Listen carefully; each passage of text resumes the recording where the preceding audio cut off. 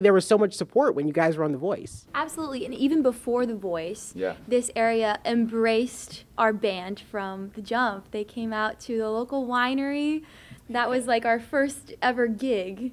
Um, and people packed the lawn at the winery, and we were just singing for three hours there. And, and so, ever since that point of starting the band, we felt such a warm welcome um, into the music industry. And ever since The Voice, we, we moved to Nashville, we've gone pro, and uh, we still feel those warm feelings towards this community, the ones that really believed in us. They were the first ones to believe in us. And I can imagine that all that attention at once, it must have been a lot too, as well.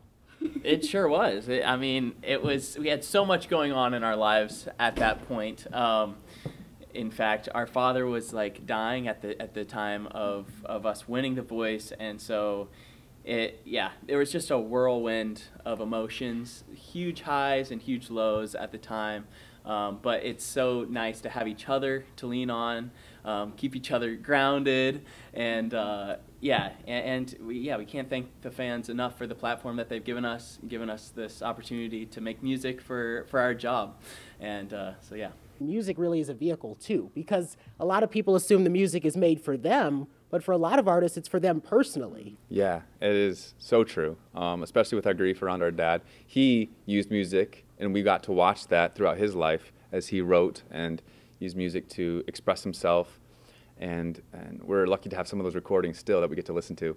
And so that's definitely where our music comes from. It's, it's for us, first and foremost. And then if other people like it, then that's all that that's that's all we really want yeah Our first experience was in school or, you know, performing with the children's choir. And we've had performance experience our whole lives, so it feels very natural. But then when you hit big stages, our, our biggest live uh, performance was at the Indy 500. We were singing Mhm. America the Beautiful in front of 300,000 people.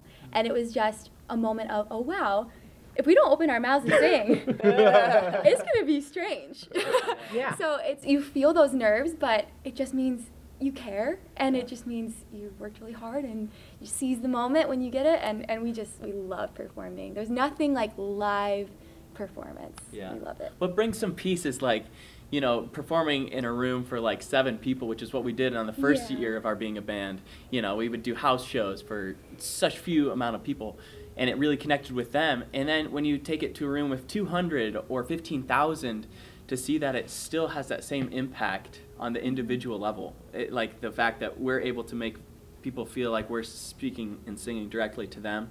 Um, that's that's what I think is, is our special gift. And I feel like the appropriate way to close out our conversation is on a teaser. I saw back in February you guys were back in the studio working. Any updates that you want to exclusively provide? We're so excited about this. Um, yes, if you're watching, you might get some more sneak peeks because we've been in the studio a lot this year and um, we're so anxious to get it out to y'all. Um, there's going to be some Christmas music coming and we have to wait a little bit longer for the next project to come out, but when it comes, you're going to love it. and you're going to talk to me first, right? Yeah, absolutely. absolutely.